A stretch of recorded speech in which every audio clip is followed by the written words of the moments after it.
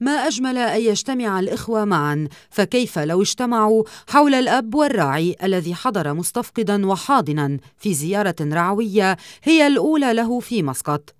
واحتفالا بالمناسبة التي كانت بمثابة عرس نظمت رعية كنيسة القديسين قسطنطين وهيليني للروم الأرثوذكس مأدبة غداء على شرف المتروبوليت غطاس هزيم مطران بغداد الكويت وتوابعهما للروم الأرثوذكس. الغداء الذي أقيم في فندق كراون بلازا في مسقط حضره إلى جانب المتروبوليت هزيم الأرشمندريت ديمتريوس منصور والأب ميشيل عجرم وكل من سعادة السفير اللبناني حسام دياب وسعادة السفير الأردني السيد زهير عبد الله نسور وعقيلته، سعادة السفير السوري السيد فاروق قدور وعقيلته، وسعادة السفير الفلسطيني الدكتور أحمد رمضان وعقيلته، إضافة إلى رجل الأعمال السيد سيمون كرم ومدير عام بنك بيروت السيد ريمي زنبركجي وأبناء الرعية. بالكرامة الكهنوتية المعطاة له وبروح الامتنان للرعاية والاحترام والأمان العماني ممثلا بجلالة السلطان قابوس بن سعيد المعظم. افتتح الأب ميشيل كلمته مرحبا بالحضور الرسمي والرعوي وعلى رأسهم سيادة المطران. قبل أن يتحدث عن حرية ممارسة الشعائر في سلطنة عمان ليختصر من بعدها واقع الرعيه ويعبر عن مدى سعادتها بقدوم سيادته.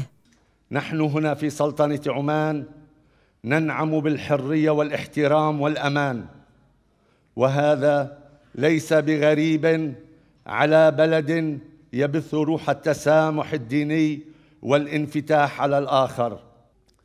نحن رعيه متواضعة العدد قوية العزيمه والرجاء تضم نحو سبعين عائلة أرثوذكسية تفتح ذراعيها لكل الناطقين بلغة الضاد من مسيحي المشرق. نحرص على تقديم التعليم الديني للصغار كي تبقى شعلة الإيمان ملتهبة. أما المطران هزيم وفي كلمته التي شكر فيها السلطنة وقيادتها الحكيمة وشعبها المضياف رحب بدوره بالحضور قبل أن يلقي الضوء على حضارة العنف التي نعيشها في الشرق واصفا إياها ببرج بابل. متوجها للرعية في كلمته أوضح المطران هزيم دور الكنيسة في نشر السلام وخلاص العالم قبل أن يتحدث عن كنيسة انطاكيا ورؤيتها في العيش المشترك مؤكدا على صدق عروبة مسيحييها وعلى أصول المسيح المشرقية مشيرا إلى استمرار الكنيسة الأرثوذكسية في إصرارها على خلق صيغة للتعايش مع المسلمين بسلام. ما أحوجنا اليوم مع هذه الحضارة التي تذكرني ببرج بابل. إنها حضارة تبنى بالغطرسة والضغط على البشرية.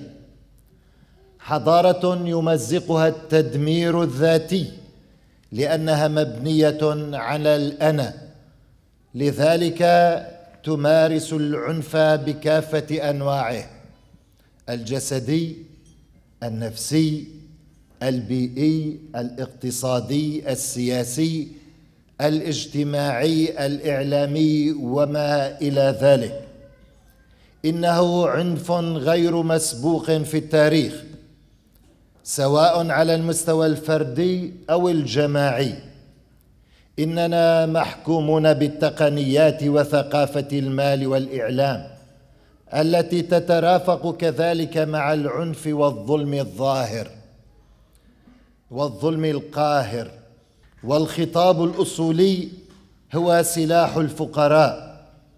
للأسف فإننا بهذه الغطرسة رأس أنانيتنا نجمل ضريحنا كالشاهد الموضوع على قبرنا.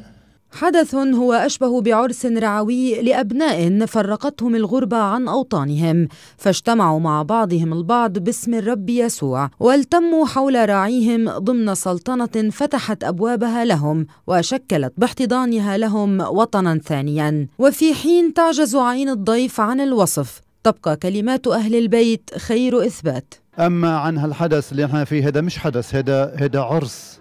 هذا آه، حدث فوق العادي وجود سيدنا الله يبارك آه، آه، تكريسه كمطران هذا شيء بيرفع راسنا. مبسوطين اليوم بزيارة المتروبوليت.